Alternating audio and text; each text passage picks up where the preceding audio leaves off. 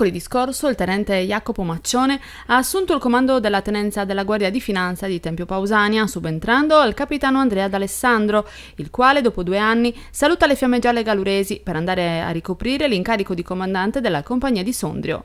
Il tenente Maccione, 28 anni, originario della provincia di Foggia, ha frequentato l'Accademia del Corpo dal 2012 al 2017 ed è laureato in Scienze della Sicurezza Economico-Finanziaria.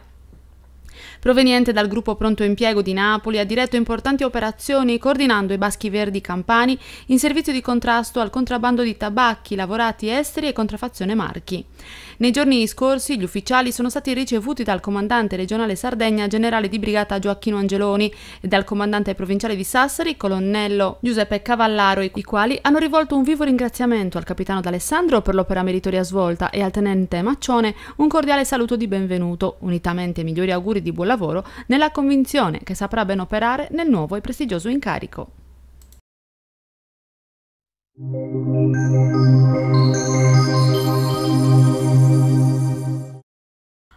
Lo scorso fine settimana, in piena notte, i carabinieri del nucleo operativo e radiomobile hanno individuato una coppia di giovani, 25 anni lui, 20 lei, entrambi nudi, che stavano consumando un rapporto sessuale nella zona commerciale di Basa, a Olbia.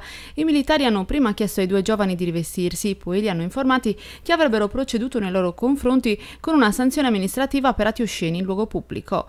Il giovane, barista incensurato di Sassari, alla richiesta dei documenti da parte dei militari, ha tentato di ingaggiare una colluttazione con con uno dei carabinieri, colpendolo sul braccio e venendo immediatamente fermato. Considerato che era particolarmente agitato e che ha continuato nella sua azione per tentare di colpire i militari, è stato dichiarato in arresto per resistenza con violenza a pubblico ufficiale e accompagnato in camera di sicurezza, da cui è uscito solo la mattina successiva dopo la convalida dell'arresto da parte del Tribunale di Tempio Pausania. A ricordo della Notte Brava, i due dovranno pagare una sanzione da circa 10.000 euro ciascuno per atti osceni in luogo pubblico. La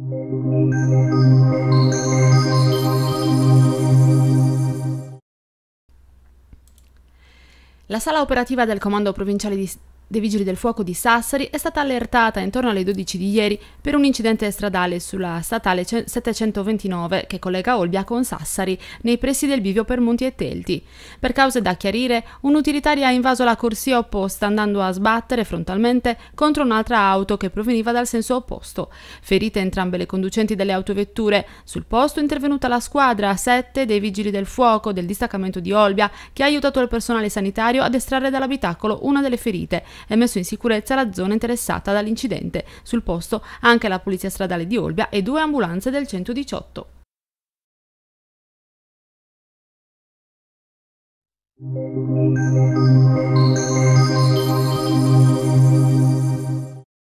Tutto pronto per il gran concerto benefico che il tenore Francesco De Muro terrà domani sera a Porto Torres sul sagrato della Basilica di San Gavino alle ore 22, il cui incasso verrà interamente devoluto alla Caritas di Porto Torres.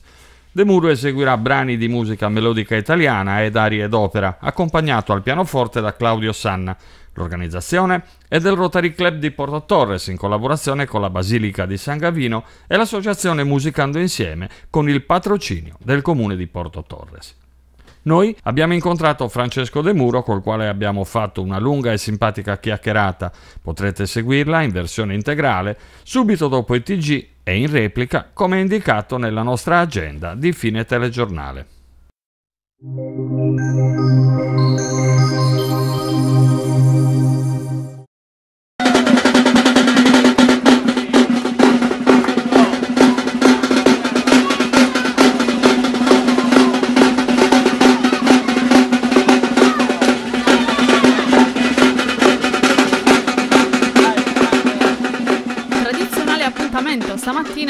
Reparto di pediatria dell'azienda ospedaliera universitaria di Sassari, dove circa 30 bambini hanno sfilato con i piccoli candelieri dei sarti, dei piccapietre e degli ortolani, che dopo l'appuntamento nel piazzale antistante il Santissima Annunziata hanno sfilato fino ad arrivare al reparto di pediatria, dove ad attenderli c'erano i piccoli pazienti ricoverati.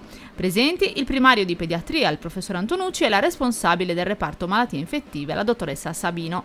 Sono state donate al reparto magliette e medaglie. In ricordo di questa giornata, tradizionale appuntamento estivo, organizzato dall'Intergremio e fortemente voluto dal vicepresidente dell'Intergremio Marco Dettori, che cura ogni anno la manifestazione con impegno ed emozione, per coinvolgere i piccoli pazienti che trascorrono così qualche ora di allegria senza pensare di trovarsi in un reparto di ospedale.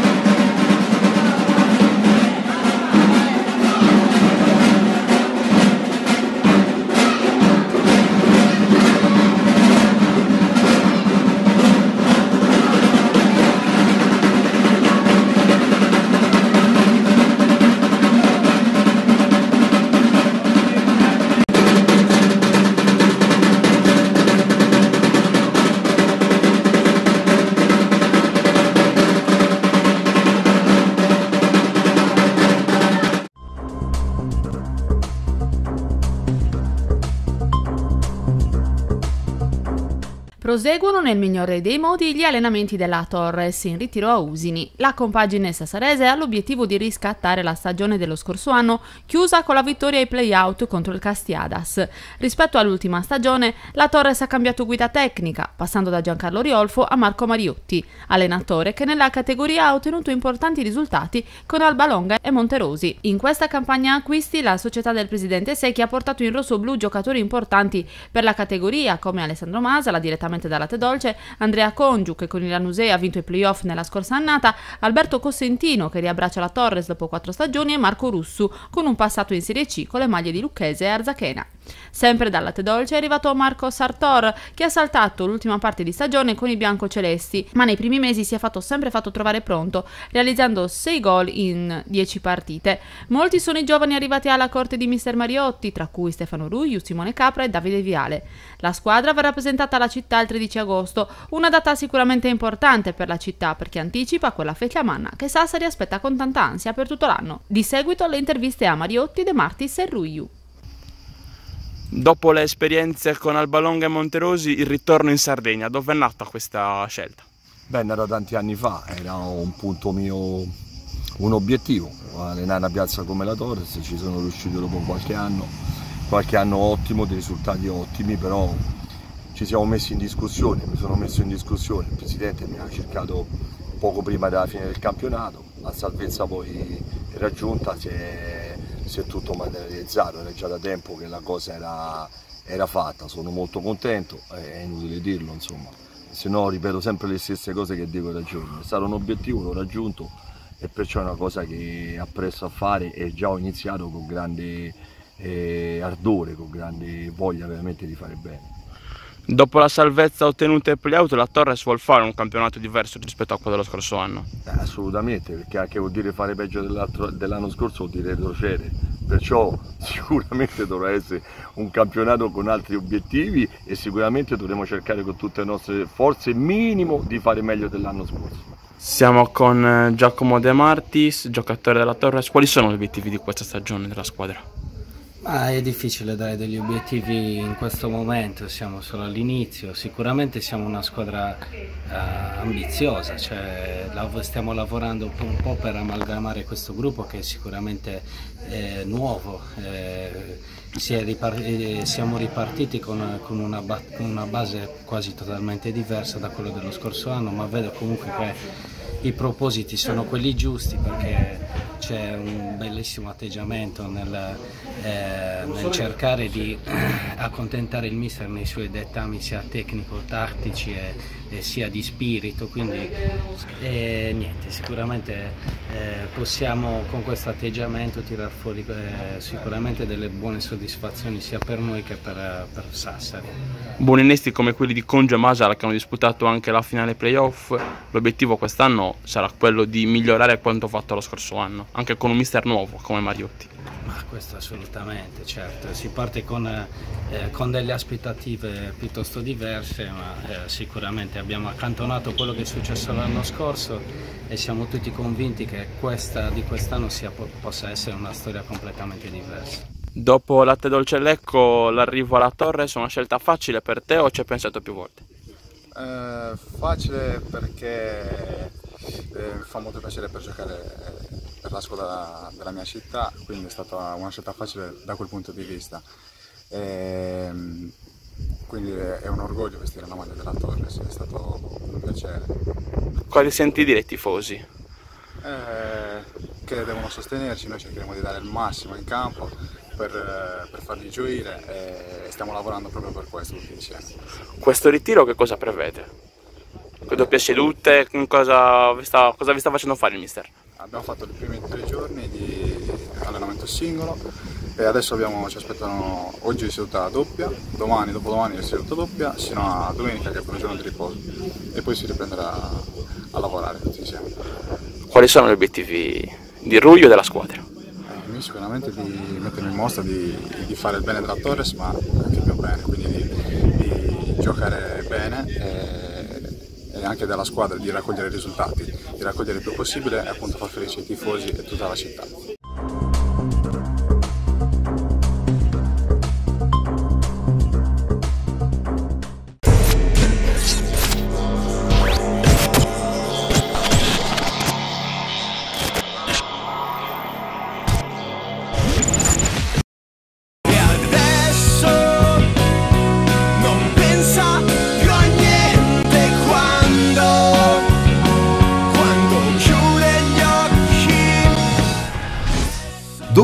Appuntamento a Stintino. Sabato 27 luglio, Sagra del Tonno. In piazza dei 45, Tonno alla griglia e tanta musica con note d'autore. Mentre domenica 28 luglio nel Porto Vecchio, grande spettacolo con il concerto di Beppe Dettori che presenta il suo nuovo album Chiocciola 90.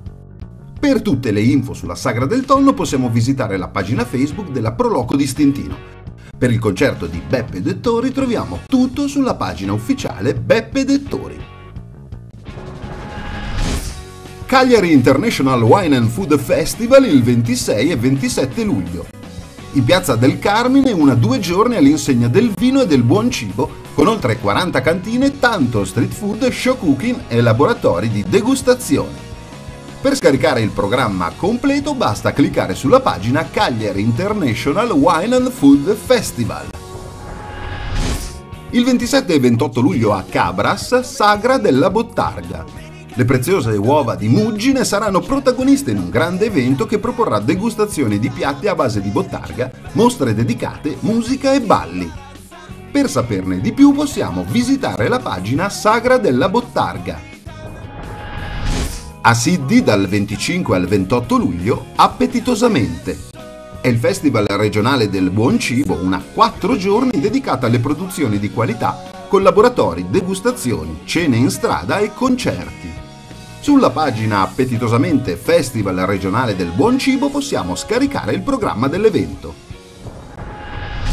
Dal 25 al 27 luglio Birra al Guerra ad Alghero fiume di birra nella splendida cornice del Forte della Maddalena, con 60 birrifici artigianali e un ricco programma musicale tra concerti e DJ set. Tutte le info utili le troviamo sulla pagina Birralguer Sardegna Craft Beer Festival. Se volete segnalare o promuovere un evento, inviate una mail a info-sardinianlife.it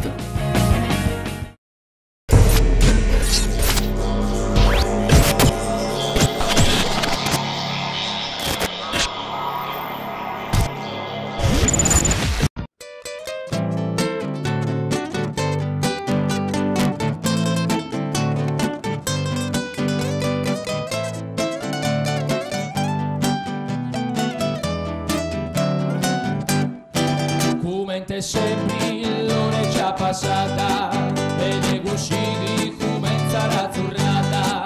Ma è sempre e non sai cosa di caffè accendi e si fa zittini ed una dira ma te si ragioni. Si due cimento già sono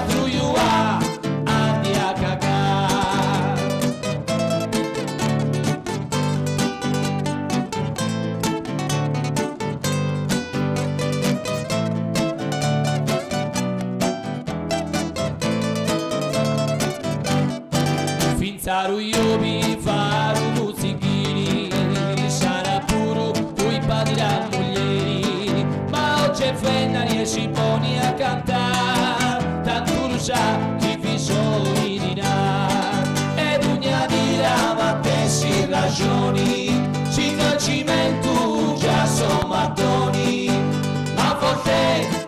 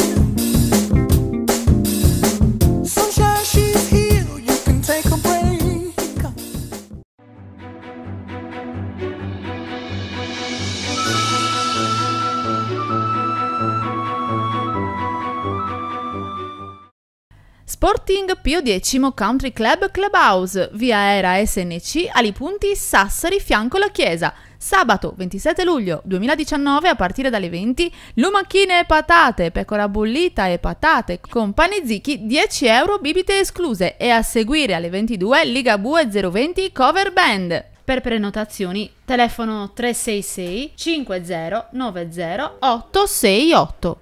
Sulle note della solidarietà, concerto benefico del tenore Francesco De Muro, sabato 27 luglio 2019 a partire dalle 21, sagrato della Basilica di San Gavino. Speciale intervista al tenore Francesco De Muro, in onda sulla nostra emittente stasera alle 15.30 e alle 22.15, domani alle 17 e alle 21, domenica alle 16.30 e a mezzanotte. ASD Liberty Club Bancali, calcio a 5, tennis, pallavolo, scuola calcio bambini, conferenze. Telefono 340 90 43077. TG Informazione ed approfondimento. Orari di messa in onda dalle 13 alle 15.30, dalle 19 alle 20.45. Ultima edizione dalle 23.30. In onda 24 ore su 24 sul canale 115 di Libera TV. Thank you.